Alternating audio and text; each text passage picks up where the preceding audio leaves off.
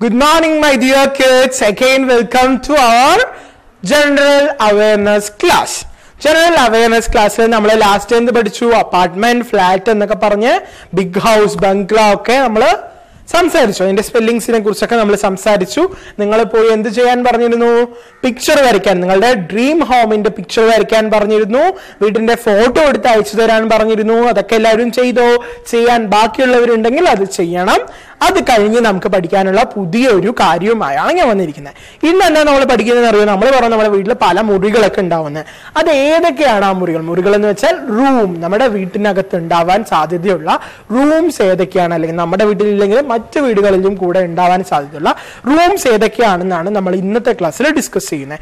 Page number seventy nine എടുത്താൽ അത് ഏതൊക്കെയാണെന്ന് നിങ്ങൾക്ക് കാണാൻ സാധിക്കും. അപ്പൊ ഞാൻ പറഞ്ഞു തരും നിങ്ങൾ അതിന്റെ കൂടുതൽ അത് നോക്കണം. Okay page number seventy nine എടുക്കൂ എടുത്തോ?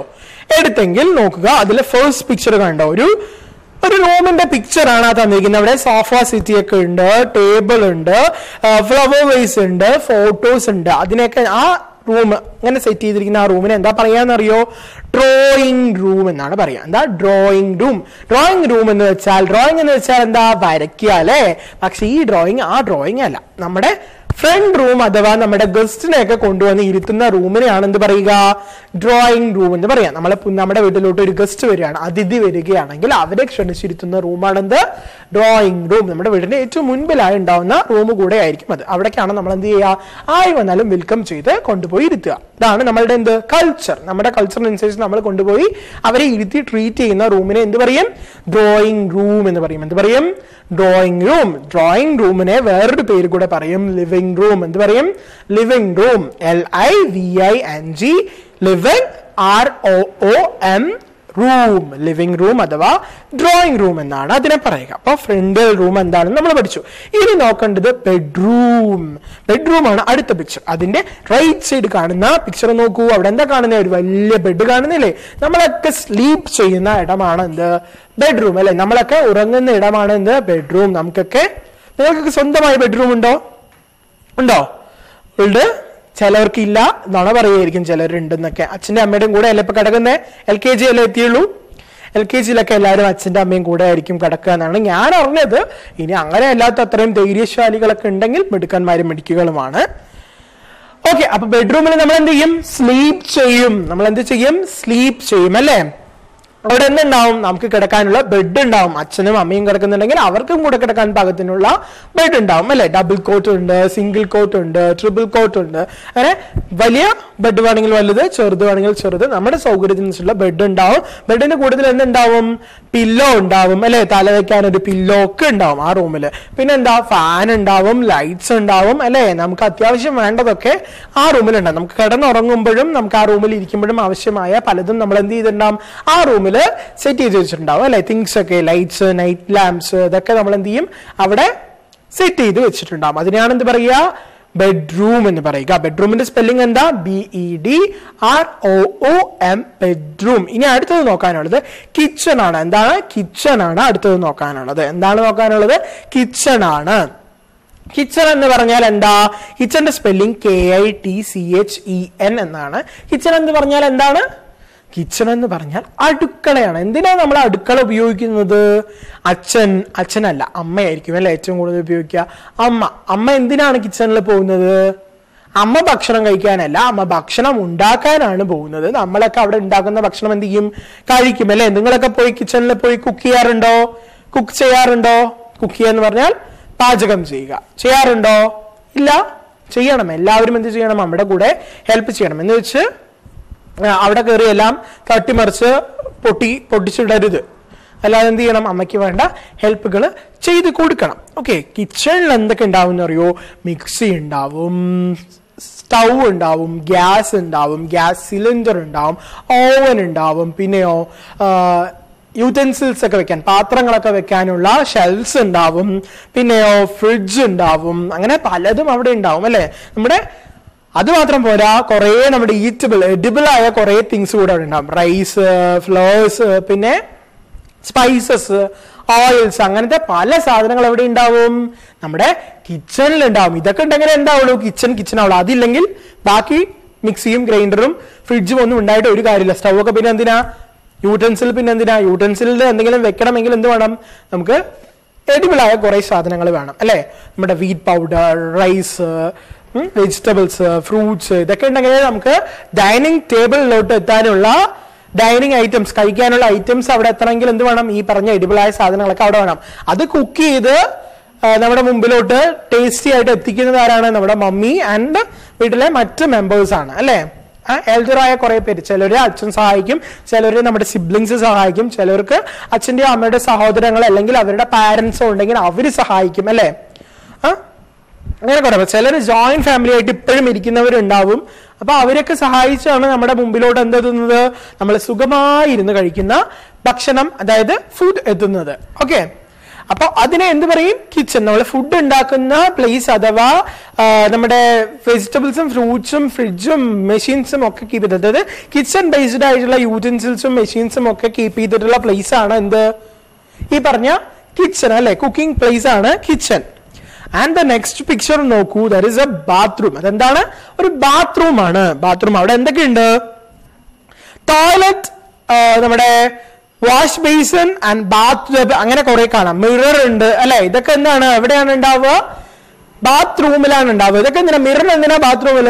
നമ്മൾ ടീത്ത് ഒക്കെ ക്ലീൻ ചെയ്തുകൊണ്ടിരിക്കുമ്പോൾ മുഖം നോക്കി ക്ലീൻ ചെയ്യുന്നവരുണ്ടാവും. മുഖം നോക്കിയിട്ടല്ല പല്ല് നോക്കിയിട്ട് ക്ലീൻ ചെയ്യുന്നവരുണ്ടാവും. മുഖം കഴുകി കഴിഞ്ഞാൽ തുടയ്ക്കാൻ നമ്മുടെ മുഖത്തുള്ള റിങ്കിൾസ് മറ്റ് പിമ്പിൾസ് ഇതൊക്കെ ചെക്ക് ചെയ്യാനൊക്കെ എന്തുണ്ടാവും അവിടെ? മിറർ ഉണ്ടാവും. വേണമെങ്കിൽ അവിടെ നിന്ന് തന്നെ ഡ്രസ് ചെയ്യുന്നവർക്ക് മേക്കപ്പ് ഒക്കെ ചെയ്യണമെങ്കിൽ അവിടെ നിന്ന് ചെയ്യാം. നിങ്ങളൊക്കെ ചെയ്യാറുണ്ടോ? ഇല്ലേ? ഉണ്ടോ? ഉണ്ട്? ഇല്ല? ആ എന്ത് വേണമെങ്കിലും നിങ്ങൾ ഇഷ്ടം പോലെ ചെയ്തോളൂ. നിങ്ങൾ വേണമെങ്കിൽ മേക്കപ്പ് ഇടാം. മേക്കപ്പ് ഇടാതിരിക്കാം. അപ്പോ ഇതൊക്കെ എവിടെ ഉണ്ടാവും? നമ്മുടെ ബാത്റൂമിൽ ഉണ്ടാവും. ടോയ്ലറ്റ് ഉണ്ടാവും. ഫ്ലഷ് ചെയ്യാനുള്ള സൗകര്യം ഉണ്ടാവും. വാട്ടർ ഉണ്ടാവും. അല്ലെ? ചിലരുടെ ബാത്റൂമിൽ ഹീച്ചർ ഉണ്ടാവും. ആൻഡ് ബാത്ത് ടബ് ഉണ്ടാവും. അല്ലെ? സോപ്പ് ഉണ്ടാവും. സോപ്പ് ഉണ്ടെങ്കിലല്ലേ കുളിക്കാൻ പറ്റത്തുള്ളൂ. അല്ലെ? വാഷ് ചെയ്യാൻ പറ്റത്തുള്ളൂ അതിനൊക്കെ എന്ത് വേണം? സോപ്പ് വേണം. അപ്പൊ അതിനെന്ത് പറയും നമ്മൾ നമ്മളെ ബോഡി ക്ലീൻ ചെയ്യാനും മറ്റുമായി ഉപയോഗിക്കുന്ന ടോയ്ലറ്റ് യൂസ് ചെയ്യാൻ ഉപയോഗിക്കുന്ന പ്ലേസ് ആണ് എന്ത്? ബാത്റൂം മെയിൻലി ബാത്റൂം എന്ന് വെച്ചാൽ ബാത്ത് ചെയ്യാൻ ഉപയോഗിക്കുന്ന റൂമാണ് ഇപ്പോഴൊക്കെ ബാത്റൂം ടോയ്ലറ്റ് ബാത്റൂം അറ്റാച്ച്ഡ് ആയിരിക്കും. ടോയ്ലറ്റും ബാത്റൂമും പണ്ടൊക്കെ വീട്ടിനോട് അറ്റാച്ച്ഡ് എന്നാ പറയുക ഇപ്പൊ രണ്ടും അറ്റാച്ച്ഡ് ആയിട്ടുള്ള ഫെസിലിറ്റിയാണ് മോസ്റ്റ് മോസ്റ്റ്ലി കണ്ടുവരാറുള്ളത്. എല്ലാവരുടെയും വീടിനകത്ത് തന്നെ ബാത്റൂമും ടോയ്ലറ്റും മിക്സ്ഡ് ആയിട്ടുള്ള ഒരു കോമൺ ബാത്റൂം ഉണ്ടാവും. അതിനകത്താണ് ടോയ്ലറ്റിന് പോവുകയാണെങ്കിലും കുളിക്കാനാണെങ്കിലും നമ്മൾ കയറാം ആൻഡ് ബാത്റൂമിന്റെ സ്പെല്ലിംഗ് എന്താണെന്ന് അറിയോ B A T H R O O M എന്താണ്? B A T H R O O M റൂമിന് എല്ലാവരുടെയും കോമൺ സ്പെല്ലിങ്സ് ആണ്. അതെന്തായിരുന്നു? ആർ ഒ ഒ എം ആണ്. ബാത്തിന്റെ സ്പെല്ലിംഗ് കൂടെ പഠിച്ചാൽ ബാത്റൂമിന്റെ സ്പെല്ലിംഗ് ആയി. B A T H bath R O O M room bathroom okay ഇനി നോക്കേണ്ടത് നമ്മൾ മുമ്പ് പറഞ്ഞു കിച്ചണിന്റെ കാര്യം. കിച്ചണിൽ എന്തിനായിരുന്നു പോയിക്കൊണ്ടിരുന്നത്? കുക്ക് ചെയ്യാനും നമുക്ക് വേണ്ട എഡിബിളായ തിങ്സ് സൂക്ഷിച്ചു വെക്കാനും മറ്റുമൊക്കെയാണ് അല്ലെ? പിന്നെ മിക്സി ഗ്രൈൻഡർ അങ്ങനെയുള്ള തിങ്സ് ഒക്കെ വെക്കാനും യൂട്ടൻസിൽസ് കീപ്പ് ചെയ്യാനും സ്റ്റൗ യൂസ് ചെയ്യാനും ഒക്കെയാണ് എന്തുള്ളത്? കിച്ചൺ ഉള്ളത്. ആ കിച്ചണിൽ ഉണ്ടാക്കിയ ഫുഡ്സ് ഒക്കെ എവിടെയാണ് സെർവ് ചെയ്യുക? നമ്മൾ കഴിക്കുക? ഡൈനിങ് ടേബിൾ ഡൈനിങ് ടേബിൾ എവിടെ വെക്കുക? ഡൈനിങ് റൂമിൽ അല്ലേ? നമ്മൾ കഴിക്കാനിരിക്കുന്ന റൂമാണ് എന്ത് ഡൈനിങ് റൂം. ഡൈനിങ് റൂമിൽ മെയിൻലി എന്താണ് ഉണ്ടാവുക?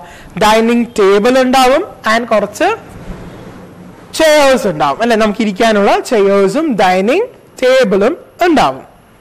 ആ ഡൈനിങ് ടേബിളിന് മേഘത്ത് മുകളിൽ എന്തൊക്കെ ഉണ്ടാവും? വാട്ടർ ഉണ്ടാവും. പിന്നെയോ? ഫ്രൂട്ട്സ് നമുക്ക് അത്യാവശ്യം വേണ്ട സോൾട്ട് അങ്ങനെയുള്ളതൊക്കെ വെച്ചിട്ടുണ്ടാവും. പിന്നെ ടൈം ആവുമ്പോൾ മമ്മി അല്ലെങ്കിൽ വീട്ടിലെ എൽഡേഴ്സ് ആരെങ്കിലും എന്ത് ചെയ്യും? ഫുഡ് അവിടെ കൊണ്ടുവന്ന് വയ്ക്കും. എന്നിട്ട് ടൈം ആവുമ്പോൾ നമ്മൾ എല്ലാവരും കൂടെ ഒന്നിച്ചിരുന്ന് ആ ഭക്ഷണം കഴിക്കും. അല്ലേ? അങ്ങനെയല്ലേ? ആണ്. ആൻഡ് ഡൈനിങ് റൂമിന്റെ സ്പെല്ലിംഗ് എന്താണെന്ന് വെച്ചാൽ D I N I N G dining room R O M റൂമിന്റെ സ്പെല്ലിംഗ് എന്തായിരുന്നു? R O M okay. അപ്പൊ ഡൈനിങ് റൂമും പഠിച്ചു. അടുത്തത് നോക്കൂ നിങ്ങൾക്കൊക്കെ വളരെ ഇഷ്ടമുള്ള ഒരു റൂമാണ്. ഏതാണ് ആ റൂം ഏതാണ് ആ റൂം പ്ലേയിങ് റൂമൊന്നും ഇല്ല കളിക്കുന്ന റൂമൊന്നും അല്ല. കളിക്കുന്ന റൂമല്ല. അതെന്താണ്? പഠിക്കുന്ന റൂമാണ് സ്റ്റഡിയിങ് റൂം കുറെ പേരുടെ റിയാക്ഷൻ ഒക്കെ മാറിപ്പോയി. എന്താ സ്റ്റഡി റൂം ഞാൻ ഇഷ്ടമുള്ള റൂം എന്ന് പറഞ്ഞപ്പോൾ വേറെ എന്തോ ആണ് വിചാരിച്ചത്. സ്റ്റഡി റൂമാണ് സ്റ്റഡി റൂം എന്ന് പറഞ്ഞാൽ എന്താ? നമ്മൾ പഠിക്കാൻ ഉപയോഗിക്കുന്ന റൂം അവിടെ എന്തായിരിക്കും? നിറയെ പുസ്തകങ്ങളായിരിക്കും. എന്തായിരിക്കും? നിറയെ പുസ്തകങ്ങൾ. ചിലവരുടെ അവിടെ റൂമിൽ എന്തുണ്ടാവും? കമ്പ്യൂട്ടർ ഉണ്ടാവും. ചിലരുടെ റൂമിൽ ലാപ്ടോപ്സ് ഉണ്ടാവും. അല്ലെ? സ്റ്റഡി ആയി റിലേറ്റഡ് ആയ കുറേ തിങ്സ് വെച്ചിട്ടുള്ള ഒന്നാണ് സ്റ്റഡി റൂം അവിടെ ഒരു ടേബിൾ ഉണ്ടാവും ചെയർ ഉണ്ടാവും നൈറ്റ് ലാമ്പ് ഉണ്ടാവും നോർമൽ ലാമ്പ് ഉണ്ടാവും. അതിന് മുഖം അതിന് മുമ്പിലിരുന്ന് നമുക്ക് എന്ത് ചെയ്യാൻ സാധിക്കും? പഠിക്കാൻ സാധിക്കും. സ്റ്റഡി ചെയ്യാൻ സാധിക്കും. സ്റ്റഡി ചെയ്യാൻ സാധിക്കും. അപ്പൊ പഠിക്കാൻ ഉപയോഗിക്കുന്ന മുറിയെ എന്ത് പറയും? സ്റ്റഡി റൂം അവിടെ സ്റ്റഡി ചെയ്യാനുള്ള തിങ്സിന്റെ കൂടുതൽ എന്തൊക്കെ ഉണ്ടാവും? പെൻസും പെൻസിൽസും റബ്ബറും ഒക്കെ ഉണ്ടാവും കേട്ടോ. അതൊക്കെ ഉണ്ടെങ്കിൽ നമുക്ക് സ്റ്റഡി ചെയ്യാൻ പറ്റുകയുള്ളൂ. പഠിക്കാൻ നോട്ട്ബുക്സ് വേണം എഴുതാൻ പേന വേണം പേന അല്ലെങ്കിൽ നിങ്ങൾ ഉപയോഗിക്കുന്ന പെൻസിൽസ് വേണം. ചിലപ്പോൾ നിങ്ങൾ സ്ലൈറ്റ്സ് ഉപയോഗിക്കുന്നവരായിരിക്കും. അപ്പം സ്ലൈറ്റ്സ് വേണം സ്ലൈറ്റിന്റെ പെൻസിൽസ് വേണം ചോക്സ് വേണം. അങ്ങനെ പലതും അവിടെ തന്നെ ഉണ്ടാവും. നമുക്ക് സ്റ്റഡി ആയിട്ട് റിലേറ്റഡ് ആയ പല തിങ്സും കീപ്പ് ചെയ്യാനുള്ള റൂമും പഠിക്കാനുള്ള റൂമും സ്റ്റഡി ചെയ്യാനുള്ള റൂമുമാണ് ആര്? സ്റ്റഡി റൂം അല്ലെ? സ്റ്റഡി റൂമിന്റെ സ്പെല്ലിംഗ് എന്താ? സ്റ്റഡിയുടെ സ്പെല്ലിംഗ് പറഞ്ഞുതരാം. S T U D Y അപ്പൊ റൂമിന്റെ സ്പെല്ലിംഗോ ആർ എം റൂം ഗുഡ് അപ്പോ സ്റ്റഡി റൂം ഇത് രണ്ടും ചേർന്നാൽ എന്താവും? സ്റ്റഡി റൂം ആവും. ഇത്രയുമാണ് നമ്മൾ പഠിക്കുന്നത്. എത്ര എന്തൊക്കെയാ പഠിച്ചത്? ആറെണ്ണം പഠിച്ചു അല്ലെ? സിക്സ് റൂംസ് ആണ് പഠിച്ചത്. അത് ഏതൊക്കെയാണ്? ഫസ്റ്റ് വൺ ഡ്രോയിങ് റൂം അതായത് living room second one bedroom third one kitchen fourth one bathroom and the fifth one dining room and the last one study room ഇനി സ്റ്റഡി റൂം എന്തിനാ ഉപയോഗിക്കുക? താഴ്ന്ന മുകളിലോട്ട് പോവാം. സ്റ്റഡി റൂം എന്തിനാ ഉപയോഗിക്കുക? പഠിക്കാൻ സ്റ്റഡി ചെയ്യാൻ. ഡൈനിങ് റൂമോ കഴിക്കാൻ ഈറ്റ് ചെയ്യാൻ അല്ലെ? ഡൈനിങ് റൂം ഫുഡൊക്കെ കൊണ്ടുവന്ന് കഴിക്കാനാണ് ഉപയോഗിക്കുക. എന്താ? ബാത്റൂം ബാത്റൂം എന്തിനാണ്? ബാത്ത് ചെയ്യാൻ അല്ലെ? കുളിക്കാൻ. ഗുഡ് ആൻഡ് കിച്ചൺ കിച്ചൺ എന്തിനായിരുന്നു? കുക്ക് ചെയ്യാൻ. യെസ് കുക്ക് ചെയ്യാൻ. ആൻഡ് ബെഡ്റൂം സ്ലീപ്പ് ചെയ്യാൻ. And drawing room yes welcome ചെയ്യാൻ അല്ലെ? ഫ്രണ്ടേജ് ആയിട്ട് ഉപയോഗിക്കുന്നത്. അപ്പൊ നമ്മൾ റൂംസ് ഒക്കെ പഠിച്ചു ഏതൊക്കെ റൂമാണെന്ന് ഇനി മാച്ച് ദ ഫോളോയിങ് എന്ന് പറഞ്ഞിട്ട് നെക്സ്റ്റ് പേജിൽ എയ്റ്റ് സീറോ എയ്റ്റീത് പേജിൽ എന്തുണ്ട്? മാച്ച് ദ ഫോളോയിങ് പറഞ്ഞിട്ട് ഒരു ആക്ടിവിറ്റി ഉണ്ട്. ആ ആക്ടിവിറ്റി ചെയ്യാം. ആ ആക്ടിവിറ്റിയിൽ എന്താ ഉള്ളതെന്ന് അറിയോ? കുറെ റൂംസ് തന്നിട്ടുണ്ട്. അത് എന്തിനാണ് ഉപയോഗിക്കുക എന്നുള്ളത് നിങ്ങളിപ്പോ പഠിച്ചതല്ലേ? ഞാനിപ്പോ പറഞ്ഞു തന്നതല്ലേ? അത് വെച്ചിട്ട് നിങ്ങൾ എന്ത് ചെയ്യണം? അത് മാച്ച് ചെയ്യണം. നിങ്ങളുടെ മമ്മയുടെയും പപ്പയുടെയും ഒക്കെ ഹെൽപ്പ് തേടാം കിട്ടുന്നില്ലെങ്കിൽ മാത്രം. നിങ്ങൾക്കത് റെക്കഗ്നൈസ് ചെയ്യാൻ പറ്റുന്നില്ല എന്നുണ്ടെങ്കിൽ എന്ത് ചെയ്യാം? നിങ്ങളുടെ മമ്മിയുടെയോ പപ്പയുടെയോ ഹെൽപ്പ് തേടാം അല്ലെങ്കിൽ നിങ്ങൾ സ്വയം മാച്ച് ചെയ്യും. എന്ത് ചെയ്യണം? പെൻസിൽ ഉപയോഗിച്ചിട്ട് അതിലോട്ട് വരയ്ക്കുക. ഫസ്റ്റത്തെ റൂം എന്താണ്? ഫസ്റ്റത്തെ ഒരു കിച്ചൺ ആണ് തന്നിരിക്കുന്നത്. കിച്ചൺ എന്തിനാണ് ഉപയോഗിക്കുക? എന്ന് എന്ത് ചെയ്യണം? മാച്ച് ചെയ്യണം. ഏതാണോ ഈ സ്യൂട്ടബിൾ ആയ ഓപ്പോസിറ്റ് കാണുന്ന പിക്ചർ അതിലോട്ട് മാച്ച് ചെയ്യണം. The second one is a dining room dining room എന്തിനാണ് ഉപയോഗിക്കുക എന്നുള്ളത് മാച്ച് ചെയ്യണം. Third one is study room study room എന്തിനാണ് ഉപയോഗിക്കുക എന്നുള്ളത് അവിടെ തന്നെ പിക്ചർ തന്നിട്ടുണ്ട്. അങ്ങോട്ട് മാച്ച് ചെയ്യണം. ആൻഡ് ദ ബെഡ്റൂം അത് എന്തിനാണ് ഉപയോഗിക്കുക എന്നുള്ളത് അവിടുത്തെ ഓപ്പോസിറ്റ് പിക്ചറിലോട്ട് മാച്ച് ചെയ്യണം. അത്രയും ചെയ്താൽ ഈ ആക്ടിവിറ്റി കംപ്ലീറ്റ്